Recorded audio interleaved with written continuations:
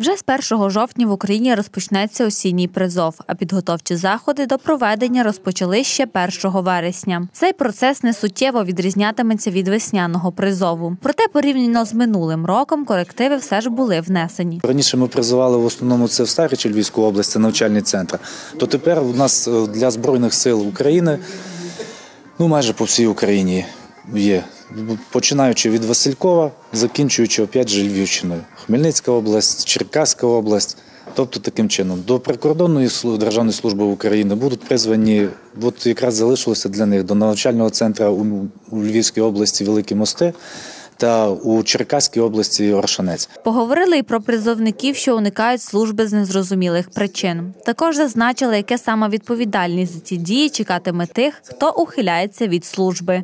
По матеріалам, е, що надійшли з військових комісаріатів області е, протягом року, було з порушенням вимог статті 335 КК України ухилення від призову на військову службу. Е, Територіальними підрозділами ГУНП було розпоч- розпочато 54 кримінальних провадження, із яких надіслано до суду 26, розкрито 16, 12 знаходиться ще в провадженні. Розповіли про надання відстрочки, за яких умов надається та кому саме. надання відстрочок. Е, Додали ще один е, ще одну варіант відстрочки це особам рядового начальника складу служби цивільного захисту та працівникам Державного бюро розслідування. Ще один тип відстрочки додатковий це співробітникам службової е, служби судової охорони. Раніше такого не було варіанту, тепер з'явився. Тобто раніше це була ця відстрочка надавалася за окремим алгоритмом, тепер вона безпосередньо прописана в законодавстві. Вимоги до призовників залишаються ті самі, тобто чоловіки, що досягли 18 років та мають не більше 27, є призовниками.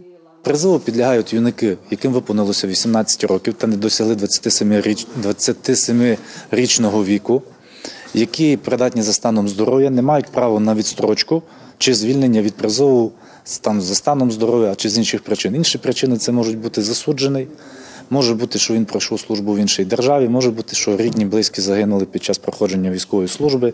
Тобто 17-18 стаття закону регламентують, хто має право на відстрочку, хто звільняється від призову. Решта підлягають призову.